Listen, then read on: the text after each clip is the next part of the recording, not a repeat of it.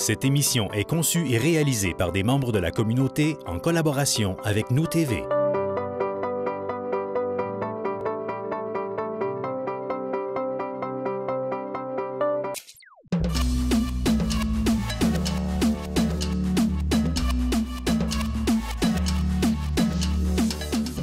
Bonjour, ici Valérie Dionne. Bienvenue à cette nouvelle édition de votre magazine Bravo. La plus récente campagne de Centraide Haute-Côte-Nord-Manicouagan visait cette année trois objectifs bien précis. Le premier, la continuité des travaux déjà amorcés en poursuivant les rencontres en milieu de travail dans le but de promouvoir les services essentiels offerts par les organismes soutenus. Le second, le développement de nouvelles relations avec le milieu des affaires en Haute-Côte-Nord et finalement, la sensibilisation auprès des jeunes quant à l'importance de l'engagement communautaire. En plus d'avoir atteint ses objectifs bien précis, la campagne a permis d'amasser la somme de 642 705 sur un objectif de 620 000 lors d'un gala de reconnaissance, des prix ont été remis aux membres de la communauté s'étant distingués par leur implication. L'apport des généreux donateurs, des partenaires et des bénévoles a également été souligné. La pauvreté sous toutes ses formes sera diminuée pour plusieurs personnes en 2018 grâce à Centraide Haute-Côte-Nord Manicouagan. Bravo! Le Club Richelieu de Sept-Îles et le Club Richelieu International ont souligné les 45 années de bénévolat assidu du docteur Urgel Pelletier dans ses associations caritatives. À Sept-Îles, depuis 1960, Urgel Pelletier a œuvré 36 ans au centre hospitalier régional. Malgré une pratique bien remplie, le médecin a toujours consacré beaucoup de temps au bénévolat et à la vie publique. Il s'est impliqué auprès de plusieurs associations communautaires, notamment la Croix-Rouge et le Club Richelieu.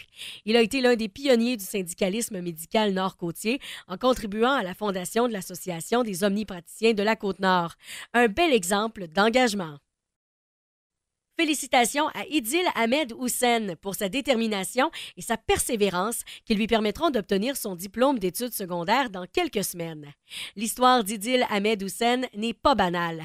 Arrivée de Djibouti en Afrique en 2012, la jeune femme a compris que pour bien s'intégrer à la communauté québécoise, elle devrait retourner sur les bancs d'école puisque la formation académique offerte dans son pays d'origine n'est pas reconnue au Québec. En 2014, elle a commencé à étudier au niveau présecondaire. Ses efforts et son travail acharné lui permettront d'obtenir son diplôme et de poursuivre ses études au cégep. Elle envisage de devenir infirmière et aimerait même entreprendre des études universitaires. Un 100% pour sa persévérance. La Direction générale de l'Association des cadres scolaires a remis à Michel Savard le prix cadre scolaire émérite lors de son congrès annuel qui se tenait le 8 février à l'Hôtel Hilton de Québec. Ce prix est remis à trois cadres au Québec qui se sont distingués par leur réalisation, leur professionnalisme et leur pratique novatrice. Par cet honneur, le Bécomois fait rayonner la commission scolaire de l'estuaire. Bravo! Les lauréats de la deuxième édition du concours d'écriture de nouvelles littéraires organisé par la Bibliothèque Louis-Ange de Sept-Îles sont maintenant connus. Le premier prix a été attribué à Diane Boulay pour sa nouvelle Coupanième. Le deuxième prix revient à Geneviève Otis pour sa nouvelle Comme une odeur de liberté. Elle s'est également vue décerner le prix coup de cœur du Salon du Livre de la Côte-Nord. Finalement, Louise Bertrand a remporté le troisième prix du jury pour son texte intitulé Mon âme. Ce concours est l'aboutissement d'un atelier d'écriture animé par l'écrivaine Myriam Leboutillier qui s'est déroulé en décembre 2017. Félicitations à ces belles plumes. Les 24 et 25 février, le travail de bénévoles sur le sentier de raquette à la mémoire de Rémi Bourque a permis de compléter et de baliser la piste sur 12 km entre le mont Tibas à Bécomo et la route 138. Le sentier permet maintenant d'accéder à deux sommets offrant une vue magnifique. Rappelons que Rémi Bourque, l'instigateur du projet, est décédé en août dernier. C'est un bel hommage de donner suite à ce projet qui lui tenait à cœur. C'est le 11 février qu'a eu lieu le retour de la populaire émission La Voix. En clôture, un artiste s'est présenté sur la scène pour chanter derrière un immense rideau qui empêchait le public de le voir. Il s'agissait de Jonathan Freeman, un Sétilien âgé de 25 ans. Grâce à son interprétation de la chanson Hearts Beat Slow de Angus et Julia Stone, il a réussi à convaincre les quatre coachs de se retourner. Il s'est finalement retrouvé dans l'équipe d'Éric Lapointe. On peut suivre son aventure sur sa page Facebook La Voix Jonathan Freeman. Toujours sur la scène culturelle, le duo musical formé de François Cormier et Raphaël Jonf a raflé la première place lors de la finale locale de la 39e édition de Cégep en spectacle à Sept-Îles le 7 février. Ils ont, par le fait même, reçu une bourse de 500 dollars d'attraction radio. Les deux artistes iront représenter le cégep de Sept-Îles lors de la finale régionale qui se tiendra le 24 mars à Alma. Le jury a aussi remis une bourse de 200 dollars de l'Association générale des étudiants à Marianne Deschaines pour son numéro d'interprétation a cappella d'une chanson d'Edith Piaf. Bravo! Le 27 février, l'unité régionale Loisirs et Sports Côte-Nord a annoncé qu'une aide financière a été accordée à 33 organismes de la région pour des activités qui seront réalisées sur tout le territoire. Au total, c'est 36 000 qui ont été distribués dans les six MRC de la région. Dans le cadre de ce programme de Kino Québec Plaisir d'hiver, les organismes sportifs et communautaires, les municipalités, le milieu scolaire et les services d'éducation à l'enfance étaient invités à se mobiliser pour offrir des activités physiques originales et intéressantes pour la population. Depuis le 1er décembre jusqu'à la fonte des neiges, Plaisir d'hiver bat son plein dans la région. Mettez vos tucs et vos mitaines et allez jouer dehors. Christian Lepage, le directeur du service des loisirs de la ville de Port-Cartier, a pris sa retraite le vendredi 23 février. L'homme de 59 ans est entré au loisir de Port-Cartier en juillet 1989 comme régisseur des sports et il a relevé des défis importants tout au long de sa carrière.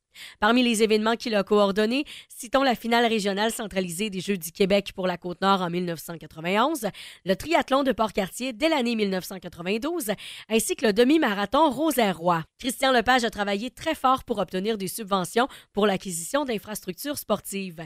Il a été coach et mentor et a créé un fonds pour aider les judokas à se développer. Christian était un visionnaire, un fonceur et un homme à l'écoute des citoyens. On lui souhaite une bonne retraite. Le 36e party Omar du club Richelieu de Sept-Îles, qui s'est tenu le 17 janvier, a permis d'amasser 17 000 au profit de l'Académie de judo de Sept-Îles. Cet argent sera fort utile aux talentueux judokas qui sillonnent les routes du Québec et du Canada en quête de médailles. Bravo! Les membres de l'équipe Shining Stars du club de cheerleading Fan House de Bécomo ont été couronnés grandes championnes provinciales lors de la compétition Extreme Cheer Fest présentée au Palais des Congrès de Montréal les 10 et 11 février. Elles ont répété l'exploit lors du championnat québécois de cheerleading qui se tenait à Québec deux semaines plus tard. Une autre équipe des Fan House est parvenue à se tailler une place sur le podium lors de ce même événement. Les filles du Bright Star ont aussi relevé leur défi avec succès en mettant la main sur la médaille de bronze. Une troisième formation bécomoise de niveau primaire, les Superstars, ont également répondu à l'appel avec éclat en décrochant une médaille d'argent. De belles acrobaties pour ces jeunes athlètes. C'est avec conviction que Charles Paquette a entrepris sa saison 2018 de compétition de triathlon le 18 février à la Barbade. L'athlète de 21 ans a pris le troisième rang de la Coupe continentale de Bridgetown. Le Port-Cartois a enregistré le meilleur chrono de la portion vélo. D'autres compétitions sont déjà au calendrier pour Charles Paquette. On lui souhaite une bonne saison.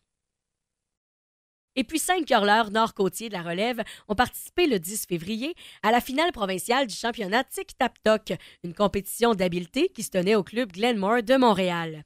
Le Sétilien Alexandre Joron s'est classé troisième chez les 9-10 ans. Il a terminé ex aequo au pointage avec le médaillé d'argent, mais le départage et le pointage des placements l'ont relégué au troisième rang. Olivier Henry du club de curling de Bécomo a remporté la médaille d'argent dans sa catégorie les 6-8 ans. Deux autres joueurs de Sept-Îles, Jérémy et Étienne Elias, et une bécomoise, Camille Patnaud, ont aussi pris part à l'événement. Preuve de la qualité du volet junior du club de curling de Sept-Îles, les responsables se sont vus remettre le méritage du club junior de l'année pour la saison 2016-2017. Par ailleurs, mentionnons que le club de curling de Sept-Îles a été l'hôte du championnat provincial senior du 11 au 18 février. Pas moins de 16 équipes masculines et 12 féminines de partout au Québec ont offert des matchs de curling de haut niveau. Bravo au comité organisateur et au club de curling de Sept-Îles. Merci d'avoir été à l'écoute. C'est tout pour cette édition du magazine Bravo. On se dit à la prochaine.